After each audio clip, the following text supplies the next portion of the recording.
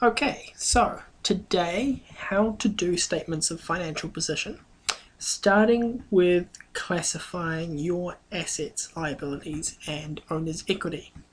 Uh, so this is exercise 3, and as you can see, it starts here on page 22 of your book, and then the actual statement of financial position is on page 24. So in your trial balance here, I've just highlighted the things that actually go into your statement of financial position. Um, everything that's not highlighted you'll be using in your income statement. So let's just go through and classify all the items in here. Uh, so the first thing is accounts receivable, and that is an asset. And we need to ask ourselves whether that's a current asset, i.e. something we expect to turn into cash in the next one year, or if it's a non-current asset, which is something we expect to keep and use for a period longer than the year, a year in the business. So, accounts receivable is money that people owe me, so I would expect them to pay me within a year. So we're going to call that a current asset. Bank is an asset again. Um, bank is already cash or what we call cash equivalent. So that's already a current asset as well. A car, now that's an asset as well, uh, but I don't expect to sell that and turn it into cash in the next year. I expect to keep that for longer than a year and use it in the business. So that's what we call a non-current asset. Same with the delivery van, I expect to keep that and use that for longer than a year. So that's a non-current asset as well. Drawings. Uh, drawings are not an asset. They're what we call negative OE. So you might want to put negative OE or you can put D if you wish. It's up to you. Um, I usually put one of those. okay, uh, land, that is an asset and I expect to keep and use that for longer than a year, so that is going to be a non-current asset. Premises, I expect to keep and use that for longer than a year, so that's a non-current asset as well. Okay, so let's go down to inventory as well, while right here. Okay, and inventory is the stock I have on my shelf, so that is an asset. I would expect to sell the things I have on my shelves within a year, hopefully. My business is going well. So we're going to call that a current asset. Okay, and over to the right or credit side of my trial balance. Uh, what have we got here? We've got accounts payable. So that's a liability um, and that's money that I've got to pay to other people and I would expect to have to pay that within the next year. So that's a current liability. Okay. Capital, uh, that is owner's equity. That's the money that um, the owner has put into the business or a reflection of the amount um, that the owner has put into the business or that the business owes the owner. Um, so that's owner's equity, OE. And mortgage is the last one we have there. Uh, mortgage is a liability because I've got to pay it back. Um, generally with a mortgage I'll pay it back over a long time, especially this one, as it's $250,000. Um, so that's going to be a non-current liability because I expect to pay it back in a period longer than a year. So that is our trial balance. All the elements for our statement of financial position are classified. So now we need to use those to create our statement of financial position. Okay, so getting into the actual statement of financial position, there's one thing you need to know before we start, and that's the golden rule with these things. Now, the golden rule is net assets equal closing capital. Those two numbers have to be the same when we finish this statement of financial position. Um, the other things that you need to know are how to calculate net assets and closing capital, and we'll get to those in a minute. First, let's start with the title. So with the statement of financial position, you're going to start with, funnily enough, statement of financial position. Four. And then what you're going to do is you're going to put the name of the business that you're doing this for in. So if we go back up to our trial balance, the question tells us that we're preparing it for the ARC mobile phone supplies. So what we're going to do is we're going to put in here, preparing this for the ARC mobile phone supplies. Then you're going to have as at.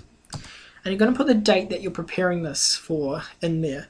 Because if you remember, a statement of financial position is a snapshot. We're looking at the business at one particular moment in time. So we need to know what that particular moment is. How do we find that out? Well, we go back up to our trial balance. And you can see that it says we're preparing it as at the 31st of March 2013. So we go back down. We put in 31st of March 2013. So that's our title done. So now what we're going to do is we're going to do the first part of that net assets equals closing capital equation. We're going to start calculating net assets. And we do that by going assets minus liabilities equals net assets. And because we're um, economics and accounting and business studies students, we're very smart and we know about current assets and we know about non-current assets. So we're going to split it up further into those categories when we're doing our assets part of this assets minus liabilities equation. So we're going to start with current assets.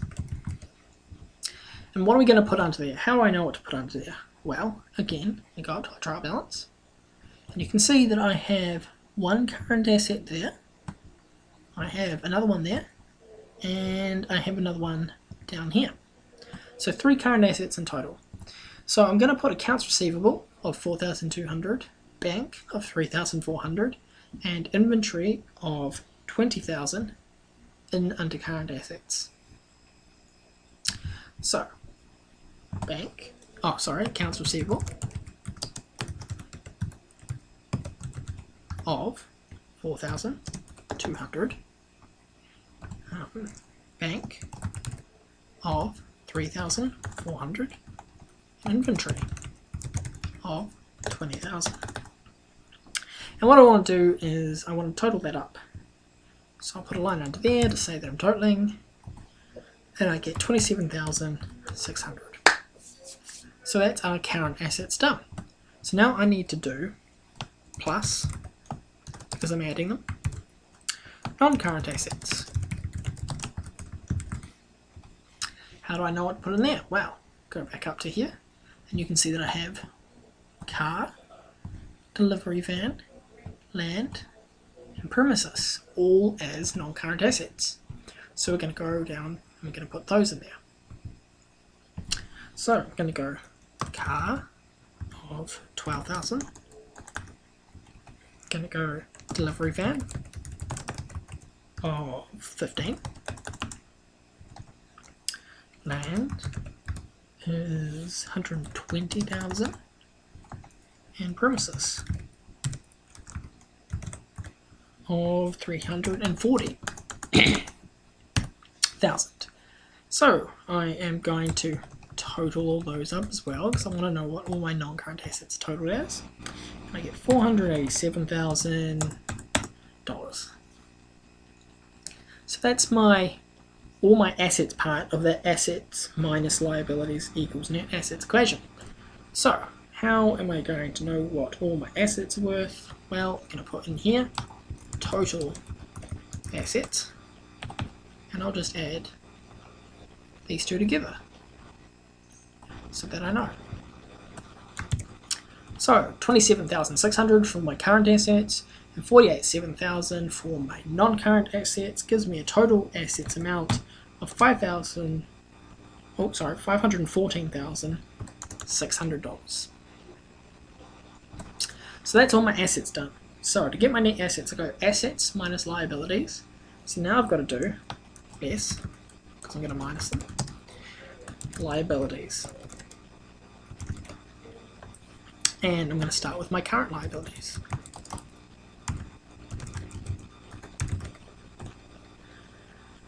So, um, in our trial balance, you can do the same thing and look, and the only current liability I have is accounts payable, and that's 2,900.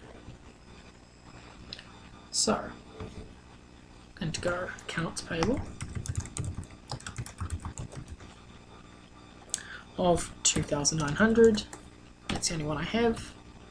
So my total current liabilities are going to be 2,900.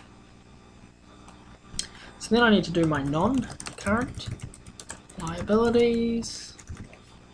And again, you can look up to find those. There's only one of them. That's the mortgage.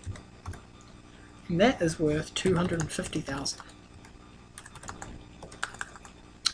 So, I'm going to total up all of my liabilities in order to get my total liabilities of $252,900. So now we can actually do the bit where we calculate our net, net assets. I'm going to go assets minus liabilities to get our net assets. So I know that all my assets are worth 514,000 Yep. I Know that all my total liabilities are worth 252,000. So I'm going to go 514,600 minus 252,900, which gives me 261,700 dollars worth of net assets. So that's my net assets part of this done.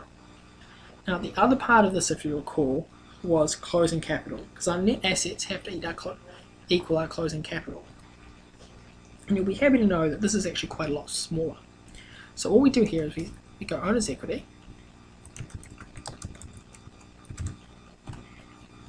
is the only other thing we have. And in owner's equity we start with capital. And that's if we go up to our trial balance, $110,500.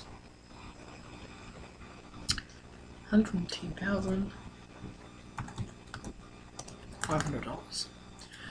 So, we're going to calculate our closing capital by taking this capital here, adding our net profit, which we get from our income statement, and minusing our drawings, which we call closing capital.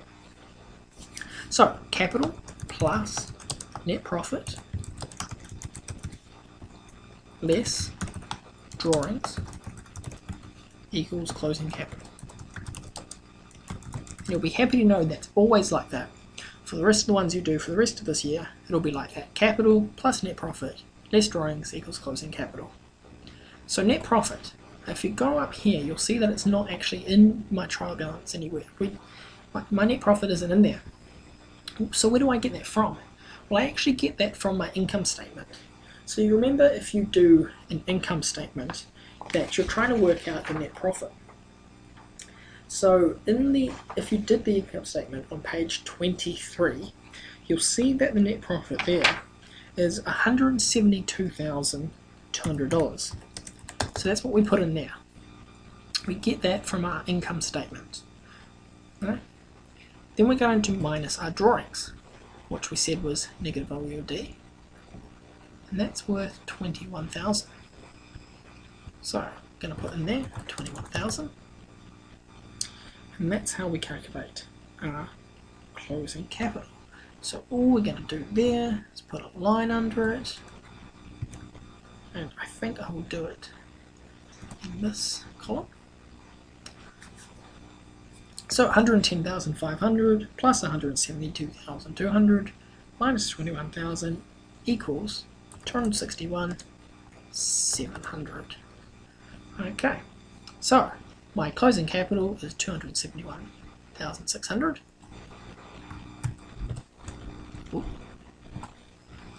Sorry about that. 261,700. My net assets is worth 271,600. So, my golden rule holds. Net assets equals closing capital. And that's our balance sheet done. Uh, that is the whole thing completed. So we've gone assets minus liabilities equal net assets. And then we've got uh, closing capital as well, and they're equal. So that's how you do uh, statements of financial position. Hopefully that helps. Um, if you either weren't in class when we did it, or if you're struggling, um, if you've got any other questions, feel free to either ask me in class, or if you're in another class, ask your teacher, or email me, or something like that. And we will see you again soon.